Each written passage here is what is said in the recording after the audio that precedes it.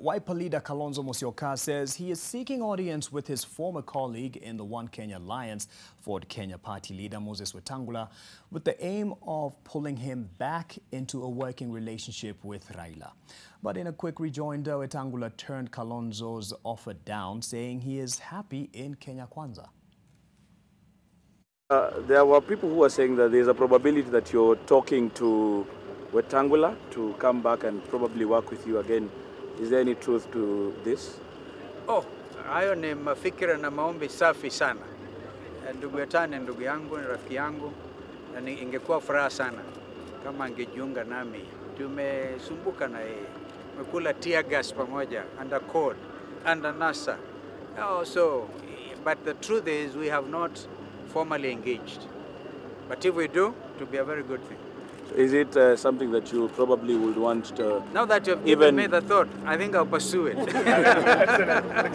So oh, you say not formally, but anyway, anything informally. We talk, we talk with the Weta. That's, that's an open secret. We talk on telephone, but we have not discussed to Kutane. But now, Kennedy, my son, I'm taking it up. Sasa Kalonzo anasema anakutafuta urudi. Eh, siwezi rudi Sema, I don't, he's my friend I don't have to engage him but I'm very happy where I am Yes. uh, we are going to form government Yes. we are going to win this election Yes.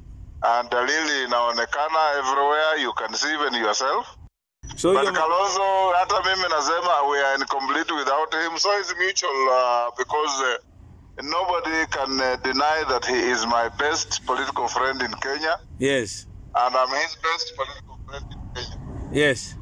We always acknowledge that, Yes. but uh, him, I was uh, pulled by the boss to to where he is. Yes. I have no doubt that he's in some considerable degree of discomfort. Thank you very With much. Raila and I, we crossed the Rubicon, Yeah. and uh, no Roman soldier crossed the Rubicon and came back. Fantastic.